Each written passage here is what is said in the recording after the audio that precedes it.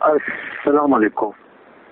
رسول اللہ صلی اللہ علیہ وسلم فرماتے ہیں، جس نے خواب میں خانہ کعبہ کو دیکھا، اس نے حقیقت میں کعبۃ اللہ کو دیکھا، کیونکہ شیطان کعبۃ اللہ کی شکل میں نہیں آ سکتا۔ پیارے نبی صلی اللہ علیہ وسلم فرماتے ہیں، جس نے خواب میں مجھے دیکھا، اس نے حقیقت میں مجھے دیکھا، کیونکہ شیطان میری شکل میں بھی نہیں آ سکتا۔ پیارے نبی صلی اللہ علیہ وسلم فرماتے ہیں کعب شریف پر پہلی نظر ڈالنے کے وقت کی جانے والی دعا قبول ہوتی ہے۔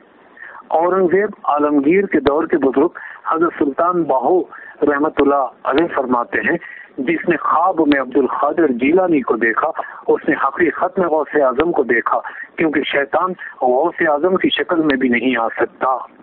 سرکار صلی اللہ علیہ وسلم فرماتے ہیں، جس نے مجھے خواب میں دیکھا، وہ ان قریب مجھے بیداری میں بھی دیکھے گا۔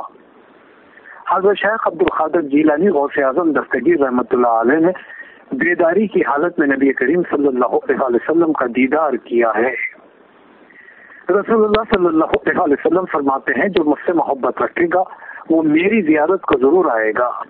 ہاں حضرت صلی اللہ علیہ وسلم فرماتے ہیں، جس نے ہمارے بعد ہماری زیارت کی، وہ ایسا ہے جیسے اس نے ہماری زندگی میں ہم سے ملاقات کی۔ رسول اللہ صلی اللہ علیہ وسلم فرماتے ہیں، انبیاء اپنی خبروں میں زندہ ہیں اور نماز بھی پڑھتے ہیں۔